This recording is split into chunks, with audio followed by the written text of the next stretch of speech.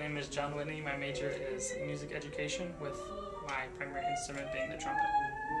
Um, I was down to two schools, Oakland University or um, the University of Central Florida. And um, pretty much this was close. It would have been cheaper to have gone here.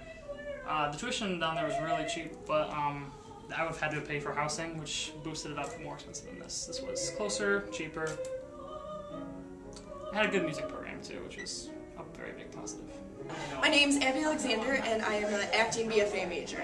Um, I had gone around to um, a lot of different places, auditioned everywhere, and the thing that I really liked about Oakland is that it was sort of like up and coming, um, like being a part of something new, and a department that um, was on its way up, and we've come a long way even since I joined, so that's why I'm choosing. And three.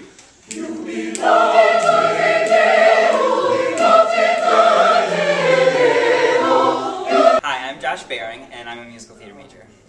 What do you like about Varner Hall? Mm, I like how like intimate it is.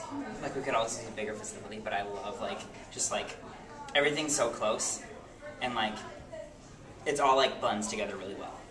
Do you have a favorite place within the hall? Like just somebody that, somewhere that you love to hang out or that you love to The class? green room, Green room? yeah, that's where everyone hangs out.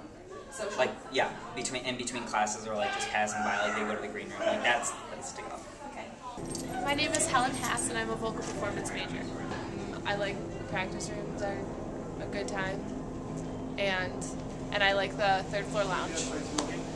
Vivian Yu, and the director of the Music Preparatory Division. Would you recommend the OU music program to other students? Uh, oh, absolutely. Of course. Uh, I mean, I went through the music um, program myself here first. So when I came down in 98, it was for the master's degree. I interviewed here as well as interviewed in at U of M. And I actually chose this on purpose, even though everybody thinks, well, it's a big school, why would you choose here instead? But I really liked that. I, I felt like I would be well taken care of here and I had a lot of connection with my professor.